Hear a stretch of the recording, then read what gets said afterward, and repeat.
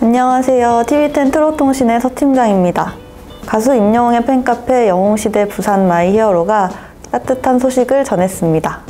10일 부산 북구는 지난 9일 임영웅 팬카페 영웅시대 부산 My Hero가 북구청을 방문해 취약계층을 위해 10kg짜리 백미를 무려 100포나 기탁했다고 밝혔습니다.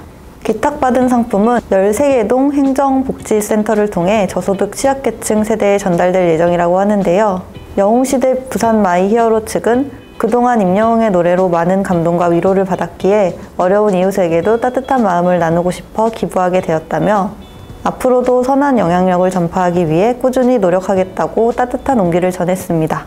추운 겨울철 이웃들을 위해 따뜻한 나눔을 실천하는 이들의 선행이 여기까지 전달되는 것 같습니다. 지금까지 버릴 소식이 없어서 준비한 트롯통신이었습니다.